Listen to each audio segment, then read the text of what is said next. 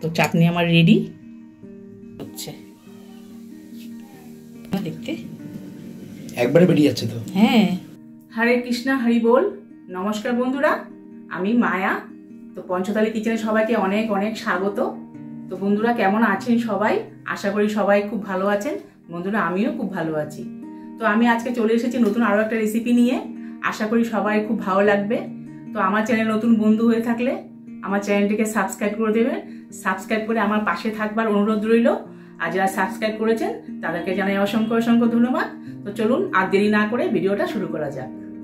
দেখাতে হবে তো এই সেটা মানে নরম যে সফট হয়েছে যে। সফট হয়েছে তো খুব? দারুণ সফট হয়েছে। সত্যি না খুব ভালো হয়েছে গো। তো বন্ধুরা আজকে আমি বানাবো ইনস্ট্যান্ট ইডলি। তো ইডলি করার জন্য এখানে আমি দুশো গ্রাম সুজি নিয়েছি এক প্যাকেট সুজি। সুজিটাকে একটু মিক্সিতে একটু গুঁড়ো করে নিয়েছি। একটু মিহিদানা করে নিয়েছি, দেখুন, এরকম মিহিদানা করে নিয়েছি। তো এবার আমি এখানে দুশো গ্রাম সুজির মধ্যে আমি একশো গ্রামের মতো দই দেবো। দইটা দিয়ে দিলাম, হাফ দই, এটা দুশো গ্রামের প্যাকেট। এই দেখুন, দুশো গ্রামের প্যাকেট, আমি এখানে হাফ দই দিয়ে দিলাম। তো দইটা দিয়ে দইটা ভালো করে মিশিয়ে নেব একটুখানি। তো এবার দিয়ে দিলাম এখানে আন্দাজ মতো নুন। নুনটা দিয়ে আমি নর্মাল টেম্পারেচার জল দিয়ে আস্তে আস্তে করে এটা সুজিটাকে একটা পেস্ট করে নেব। ভালো করে মিশিয়ে। তো ভালো করে মিশিয়ে নিয়েছি বন্ধুরা, এরকম একটা ব্যাটার হয়েছে। তো এটার আমি রেস্টে রেখে দেবো, পনেরো থেকে কুড়ি মিনিটের মতো। তো লাগলে পরে যদি লাগে একটু জল দেবো আমি, এখন এরকম আছে। তো এবার এটাকে আমি ঢেকে রেখে দিচ্ছি। তো পনেরো থেকে কুড়ি মিনিটের পর আসছি বন্ধুরা। তো আমি এখানে সাম্বারও করব ইডলির সাথে। আমি সাম্বার করার জন্য এখানে অরহর ডাল একশো গ্রামের মতো আমি প্রেশারে সেদ্ধ করে নিয়েছি। সেদ্ধ করে একটু কাটা দিয়ে নিলাম। এবার এটাকে তড়কা লাগাবো। তো একটা কড়াই বসিয়ে দিয়েছি। বসিয়ে তেল দিয়ে দিয়েছি, সর্ষের তেল। তো দ্বিতীয় শুকনো লঙ্কা দুটো দিয়ে দিলাম।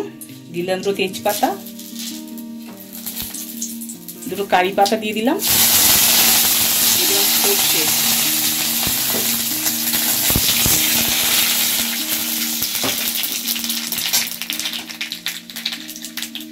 গ্রেট করে একটু আদা দিয়ে দিলাম।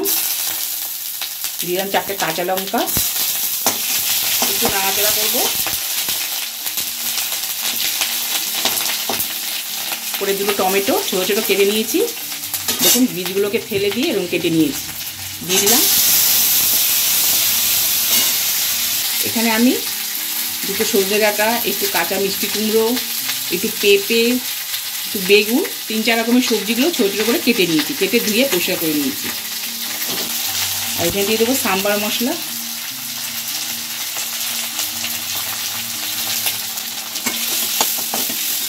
করে গন্ধ একটু আন্দাজ মতো হলুদ দিয়ে দেবো। দিয়ে সমস্ত উপকরণগুলো ভালো করে মিশিয়ে নেব। নিয়ে সবজিগুলো ঢেলে দেবো। সবজিগুলো হালকা করে সাঁতলে নেব।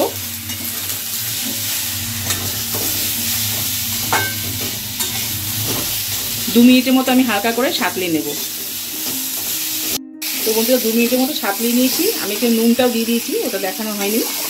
এবার ডালটাকে এর মধ্যে ঢেলে দেবো।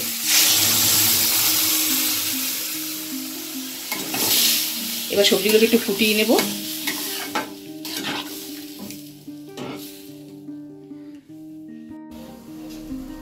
তো বন্ধু ইডলির সাথে আমি চাটনিটাও করব।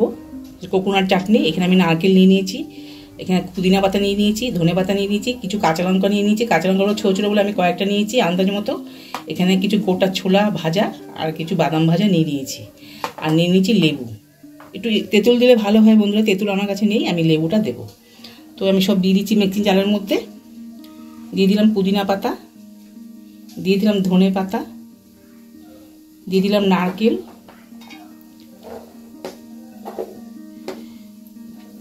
দিয়ে দিলাম কাঁচা লঙ্কা। দিয়ে দিলাম ছোলা আর বাদাম, ভাজা শুকনো ভাজা যেটা, দিয়ে দিলাম। দিয়ে দিলাম আন্দাজ মতো নুন। দিয়ে দিলাম সামান্য একটু চিনি। এবার যেহেতু আমার তেঁতুল নেই, আমি লেবু রসটার মধ্যে হাফ লেবু চিপে দিয়ে দিচ্ছি।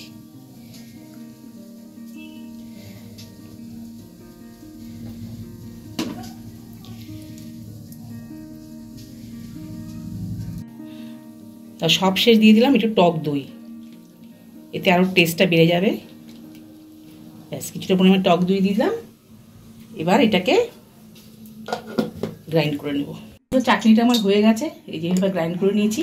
এবার এর মধ্যে তরকা লাগাবো টেস্টটা আনার জন্য। আরও বেশি টেস্টি করার জন্য এর মধ্যে তরকা লাগাবো। এবার তরকা দেওয়ার জন্য এখানে কড়াই বসিয়ে দিয়েছি একটু সর্ষের তেল দিয়ে দিয়েছি। দিয়ে দিচ্ছি দুটো শুকনো লঙ্কা।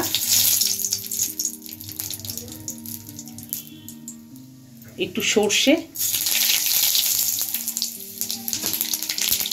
সর্ষেটা ফুটে উঠলে দিয়ে দেবো কটা কারি পাতা। দিয়ে দেবো একটু হলুদ, সামান্য।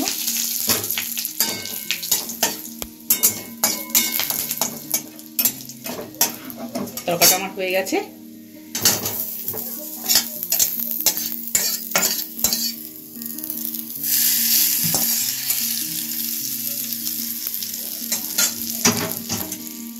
এবার এটা ভালো করে মিশিয়ে নেব।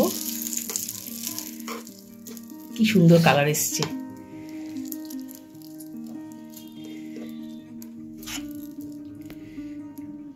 তো চাটনি আমার রেডি তো বন্ধুরা, আমার কুড়ি মিনিট হয়ে গেছে। এই মিশ্রণটা আমি রেডি করে রেখেছিলাম। ইডলি বানাবার জন্য ইনস্ট্যান্ট ইডলি বানাবার জন্য। তো ব্যাটারটা আমার এরকম হয়েছে, একটু ঘন হয়ে গেছে। আমি একটু সামান্য জল দেবো এতে। বেশি ঘন হয়ে গেছে। এবারের মধ্যে দিয়ে দেবো একটু ইনো।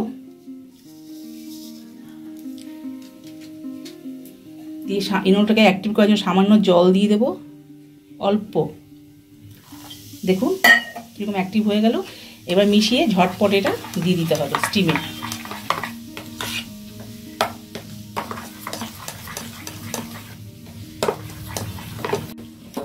আর এদিকে সব বাটিগুলো এই বাটিগুলোর মধ্যে আমি বসাবো। এর মধ্যে তেল লাগিয়ে নিয়েছি।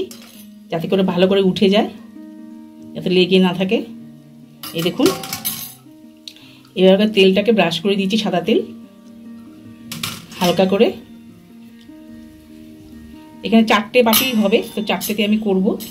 ভালো করে তেল গ্রিস করে নিয়েছি, এবার আমি ফাটা করে এর মধ্যে এটা বসিয়ে দেব।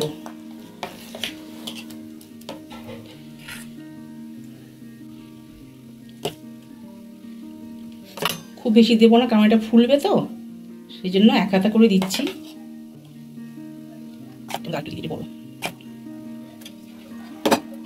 তো বন্ধুরা, এটা স্টিম করার জন্য আমি এটা কড়াইতে জল দিয়ে দিয়েছি, দিয়ে একটা রিং দিয়ে দিয়েছি এর মধ্যে। এবার এটাকে আমি কুকটার মধ্যে বসিয়ে দেবো। দিয়ে বারো থেকে পনেরো মিনিট আমি ওয়েট করব। এবার ঢেকে দিলাম। তো ফিরে আসছি বারো থেকে পনেরো মিনিট পর। তো বন্ধুরা, সাম্বারটা আমি কড়াতে সম্বরা দিয়ে প্রেশারে দুটো সিটি মেরে নিয়েছি। তাতে করে তাড়াতাড়ি করে হয়ে গেছে আমার এটা। এবার খুলে দেখে নেব।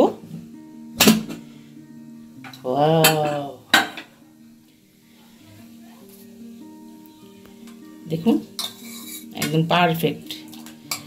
সুন্দর সাম্বারে গন্ধ বেরোচ্ছে। তো বন্ধুরা, বারো মিনিট হয়ে গেছে, এবার দেখে নেব।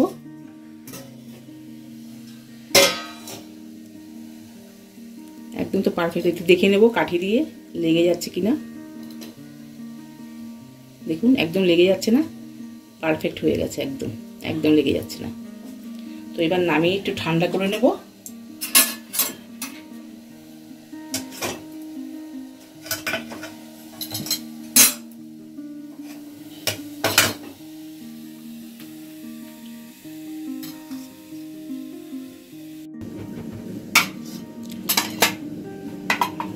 তো বন্ধুরা ঠান্ডা হয়ে গেছে দেখুন। এবার আমি এটাকে বার করে নেব। কি দারুণ হয়েছে না দেখতে? একবারে বেরিয়ে যাচ্ছে তো। হ্যাঁ। ওই.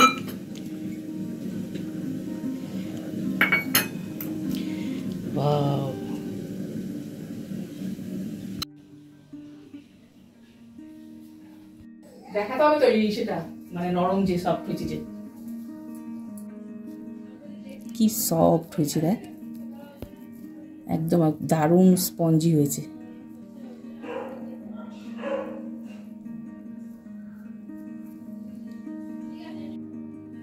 তো বন্ধুরা, আশা করি আজকের রেসিপি আমাদের খুব ভালো লেগেছে। যদি ভালো লাগে লাইক করবেন কমেন্ট করে অবশ্যই জানাবেন কেমন লাগল।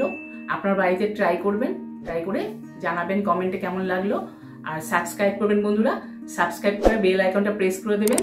যখন নতুন নতুন ভিডিও আমি আপলোড করব, সবার আগে আপনাদের কাছে পৌঁছে যাবে। তো আজকে এখানেই শেষ করছি। সবাই খুব ভালো থাকবেন, সুস্থ থাকবেন। ভিডিওটা শেষ অবধি দেখার জন্য ধন্যবাদ।